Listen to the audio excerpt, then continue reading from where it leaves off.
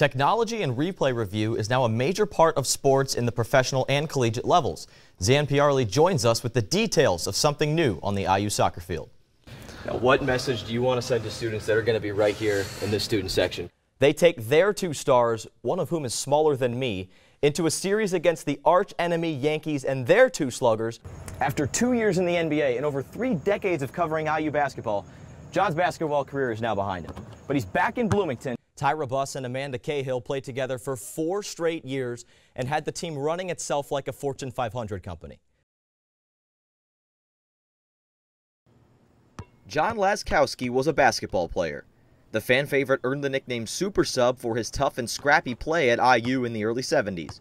He spent four years under coach Bob Knight inside Assembly Hall.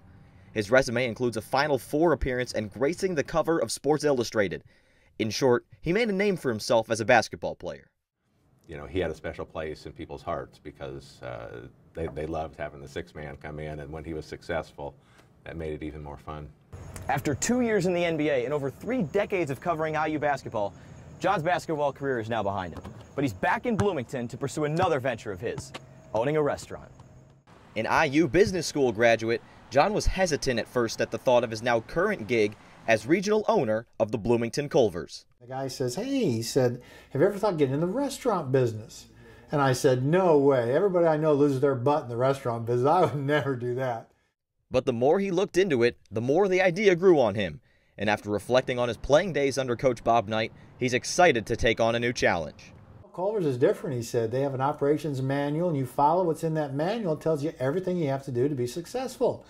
And I said, I played for a college coach who told me everything I had to do, and it worked out great for me. And so uh, got started, and now in Bloomington, we're going to open here um, in October sometime. Though the restaurant is finishing up its construction, John says once it opens, he hopes to be in the store almost every day to greet the customers that got to know him while he was making a name for himself on the basketball court.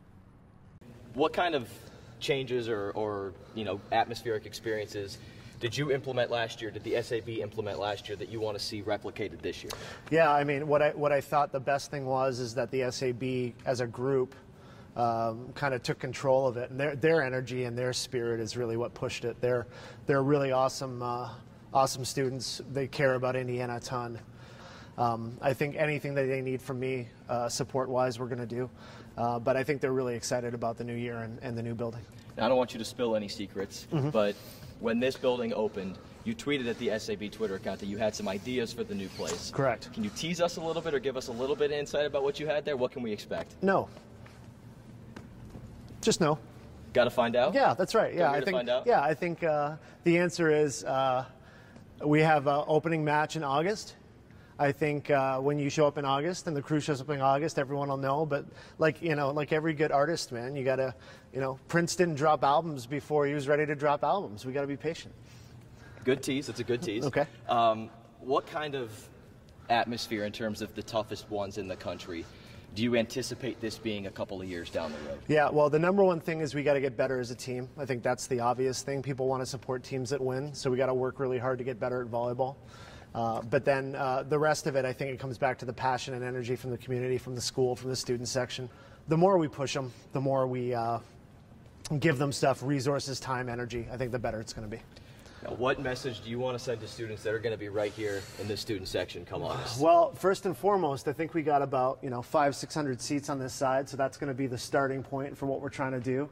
Um, you know, I think we've got a good idea in terms of uh, what we're going to equip them with in the stands. Uh, we're going to have tailgates and stuff beforehand that obviously we'll get into later about what we're doing.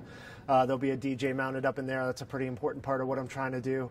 Um, and then and then lots of wrinkles as we go. But basically, it's it's a hop, skip, and a jump for students here. It's right by Assembly Hall, easy for people to get to. Um, really good sight lines. Uh, we'll have tons of food, tons of energy, great music. Um, and then the traditional start to build. You know, I think last year was kind of the appetizer, trying to teach people what we wanted, and it's just going to grow and grow and grow uh, and get better as, as hopefully the program gets better and the kids uh, have more fun showing up. Coach, thanks a lot. All right, man. Thanks. First possession of the second half, Brissett with another long hookup. This one to Chester Rogers, weaves through two defenders, 61-yard touchdown his first in the NFL.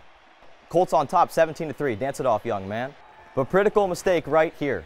Ball goes right through Jack Doyle's hands, and Ryan Shazier says thank you right at the Colts 10-yard line. Second half, De'Ron Davis putting in some work down low. That is a man going to work down there. He leads IU 17 points on the night. Archie Miller gets his first win with the Hoosiers, 86-77. Carson Edwards, look at this pretty crossover. Woo, beautiful. Leads the way with 25 on the night. Right before the half, Nojel Eastern gets the rebound and beats the horn. Boilers up by 31 points at the break.